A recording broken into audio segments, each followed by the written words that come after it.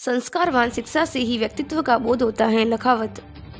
विजय आदर्श माध्यमिक विद्यालय में गुरु वंदन, छात्र अभिनंदन कार्यक्रम आयोजित।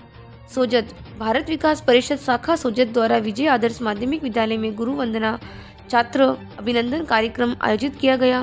कार्यक्रम में शाखा अध्यक्ष अनूप सिंह लखावत ने कहा कि छात्र जीवन से यदि अच्छे संस्कार मिल जाते हैं तो वे बच्चे जीवन में उन्नति करते हैं। संस्कारवान शिक्षा से ही व्यक्ति के व्यक्तित्व का बोध होता है।